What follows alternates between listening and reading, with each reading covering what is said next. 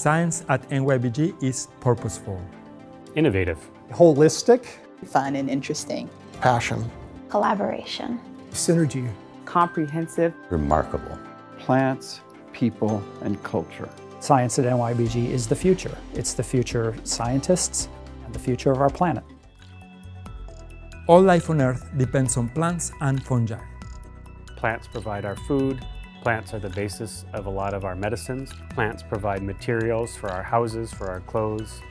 By studying carefully the interactions between plants and their environment, we can gain a lot of benefits for our own survival. If we are going to be good stewards of the planet, the only way we can do it is if we understand plants. If we can understand how to work with plants to do what they do best, we'll put ourselves in a much better solution for a sustainable future. People have changed ecosystems and have changed ecologies on a global scale, and it's going to be up to us to help to change the ecology in a way that allows all of us to persist into the future. Plants are a huge part of that, and we are purposeful plant people at the New York Botanical Garden. We have this modern laboratory with all of the tools and latest technologies to investigate plant diversity. I joke with the other people here because they go out to the rainforest to collect and my collecting is going out onto the grounds or going to the glass houses.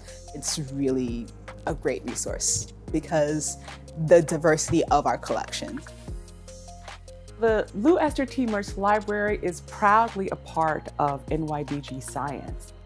We have archival collections of some of the most important botanists in the world, as well as the most current and up-to-date academic and scientific journals.